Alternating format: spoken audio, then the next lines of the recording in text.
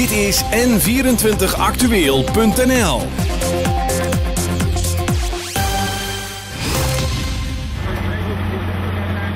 Vandaag begint het, uh, het nat afgraven van het zand het Vonk- en Vlamterrein waar straks de nieuwe parkeergarage in Den Bosch moet komen. Dan hebben jullie net even getest met een boor. Wat gebeurt er precies met die boor?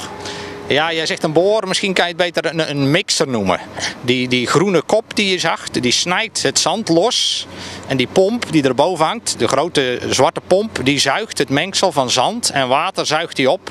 En dat gaan we vervolgens transporteren. En ja, dat proces is uiteindelijk helemaal bedoeld om de overlast in de stad te beperken. In het begin hebben we een aantal... Want anders zou je met vrachtwagens moeten gaan rijden. Ja, en dat hebben we voor het bovenste deel wel moeten doen. Er zat klei in en dat is heel moeilijk om dat los te snijden. Dan krijg je heel veel slip. Maar het zand is ideaal om dat nat op te zuigen. Dus vanaf nu wordt alle diepere materiaal wordt opgezogen en gaan we met een leiding, die zullen we straks zien, gaan we die transporteren naar de kade om daar schepen mee te beladen. Op dit moment uh, kunt u uh, de contouren van uh, de garage zien. Achter mij is de kraan aan het draaien, is de, onder doorgang de wand aan het ontgraven. Ehm, achterop zien we het ponton, wat zeg maar het, waar kraan op staat, die het nat grondwerk gaat verrichten. En ja goed, dat is wat we hier zien.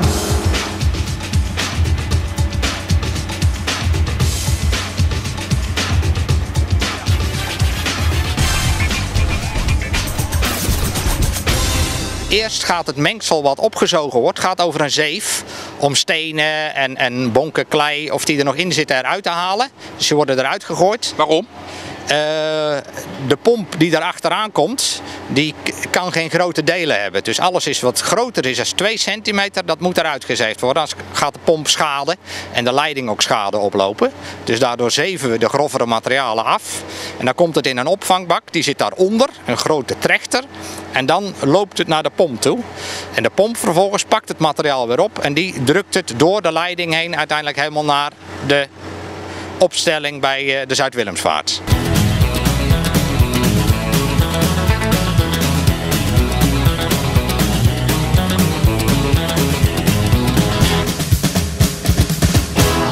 Komt het hier op de Van Veldkade uit? Ja, het, uh, het kruist hier met een portaal de weg.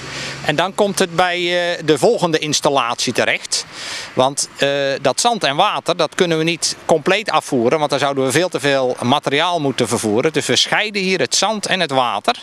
En dat doen we met cyclonen. We hebben twee... Zijn dat? We hebben twee torens gebouwd, daar staan die cyclonen in. En dat zijn eigenlijk centrifuges. Die scheiden het zand en het water. En het zand gaat via een goot uiteindelijk het schip in. En het water gaat terug naar de kuip om te zorgen dat we daar het evenwicht weer behouden.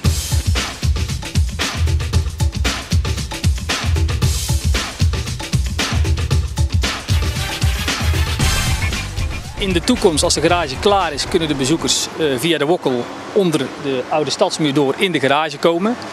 Dus het is eigenlijk gewoon zeg maar, de toegang tot de garage wordt gemaakt ja, met behoud van de oude stadsmuur. Als het dadelijk klaar is, dan ziet u achter op het beeld een grote waterpartij.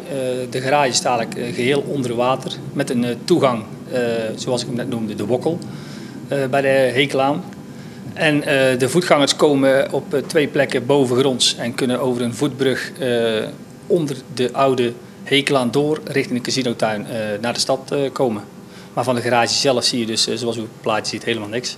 Hoeveel vrachtwagens zouden er nodig zijn geweest om al het zand te transporteren eventueel? Wat we al gedaan hebben, hebben we gereden met ongeveer 80 tot 100 vrachten per dag. En als we het met schip doen, praat je over 6 schepen per dag. Dus dat is een, een factor 1 op 15 dat we minder transportbeweging hebben. Plus dat het over water natuurlijk nauwelijks overlast geeft in Den Bosch. Meer nieuws.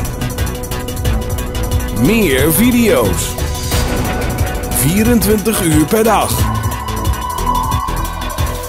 en 24actueel.nl